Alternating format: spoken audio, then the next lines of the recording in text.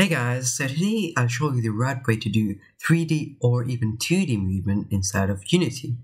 If you've seen any movement tutorials before, you've probably seen something like this. Now, if you don't understand what is going on, um, it's essentially teleporting the player a certain amount every frame. Now, this has a problem, uh, I'll show you right now. As you can see, I'm pressing the ASW key, keys and it works, but the problem appears when I'm trying to collide with something. As you can see, I'm clipping through that object and the movement isn't as smooth as we want. As you can see, when I actually go ahead and deleted the rigid body of the obstacle, I can see that more. I'm clipping through and it's not smooth. I'm not just stopping, um, I'm clipping through it and just going back and forth. It's not that nice. So, what you need is go ahead and add a rigid body on the player. And instead of teleporting the player, I'm going to use a function of the rigid body, rigid body dot velocity. So let's go ahead and delete that. And I'm going to start by explaining what is everything that I write over here. Now I'm creating a float, um, a variable speed, and then over here's a bit weird. I'm creating another float x move. Now I'm getting that uh, equal to input.getAxis raw. Raw means that there's a smoothing applies. We don't really want that.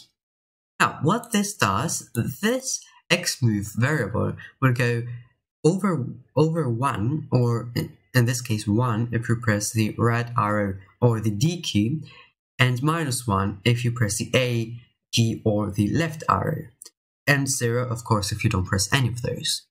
The same thing occurs with a Z move. Um, the input.getAxis raw will, re will return a value of 1 if you press W or the W key or the up arrow key and minus 1 if you press the S or the down, ar the down arrow key. As the one before, it will be 0 when we don't press anything. So what do we want to do over here? First of all, we'll create a rigid body. Let's call it RB. And let's just go into the start method. And on, on here, we're going to set the rigid body equal to get components of rigid body. What we'll do is that it will set an RB, this variable which is a rigid body, equal to the rigid body that is attached on the player or on the um, object of our choice actually. So down here, instead of writing transformer position plus equals to something, so I'll just add up what this is, I'm going to go ahead and write rb dot velocity, and that will equal to a new vector 3. Now, this uh, will actually set the velocity of our player. Now, the difference between transform the position, just adding the position, just changing the position every frame, is that this is actually moving the player from the rigid body, which means it's not teleporting the player every frame, it's moving it. And because rigid body is actually much better at calculating calculating our physics of ends collisions, we're going to use this so that we have a more smooth, more smooth movement. So over here, I will rise x move on the x-axis, zero, um, sorry, rb dot velocity dot y. That will actually get the velocity on the y-axis up and down. Since we don't want to just stop the player mid-air if it's falling, we're going to use that so it will actually set the velocity on the y-axis from what it was actually before. And then on the last one, of course, z move.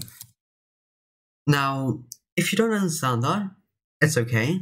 I'll explain it one more time. Essentially, I'm actually going to um, set the velocity on the x, whatever this is. So if I'm pressing the left arrow, the right arrow, it will set the velocity on the x to 1, so we'll go right. And the same thing occurs when I uh, uh, press the left arrow, go left.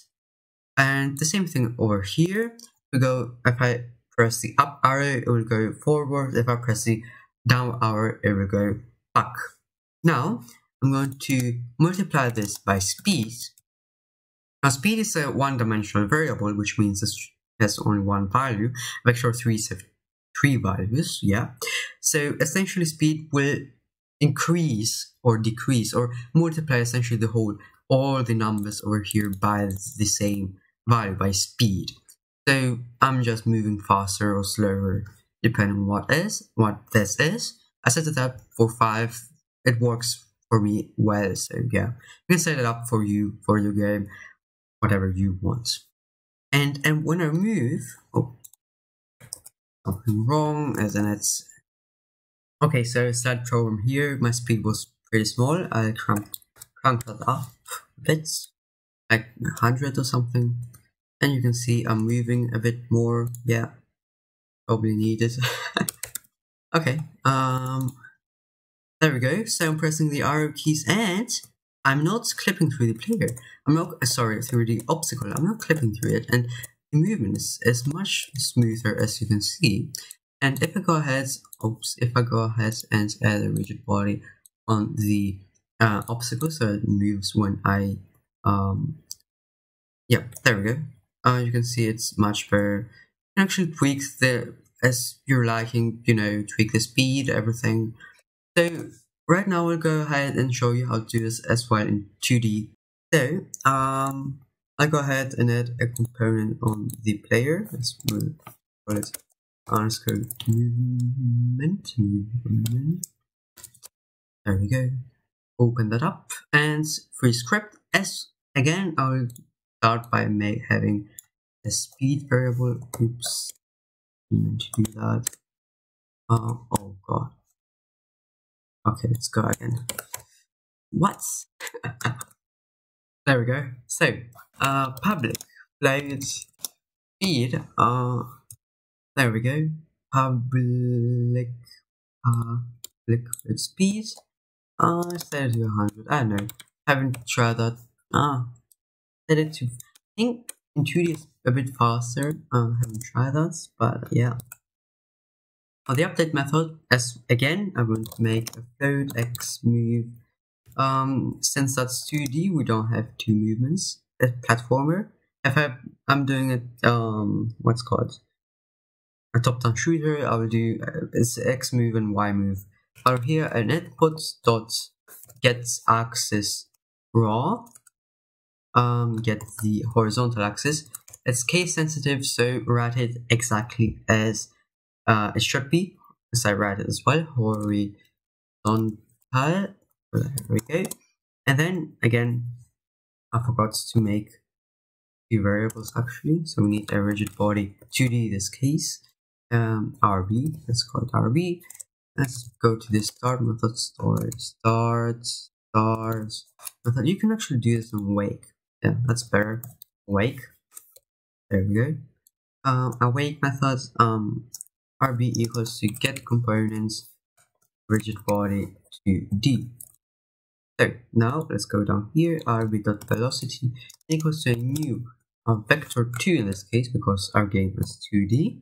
Um, on the x you want x move and rb again rb.velocity.y so I get the velocity on the y-axis I'll throw a normalized here. Uh, you don't really need that.